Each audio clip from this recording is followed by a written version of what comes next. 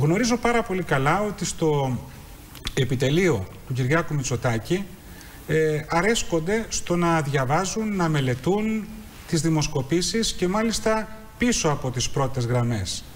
Από ποια δημοσκόπηση ακριβώς από αυτές που μελετούν προκύπτει ότι το πρόβλημα Χρυσή Αυγή έχει εξαφανιστεί; Σε όλες τις δημοσκοπήσεις ενδεικτικά αναφέρω τις τελευταίες τέσσερις.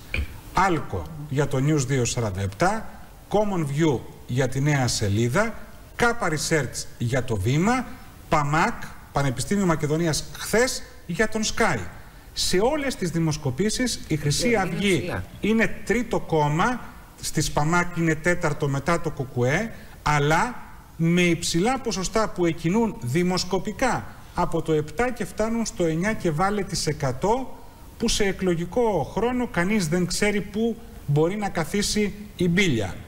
Το λέω αυτό όταν πολιτικά σε όλες τις δημοσκοπήσεις η Χρυσή Αυγή καταγράφεται ως πιθανή τρίτη δύναμη.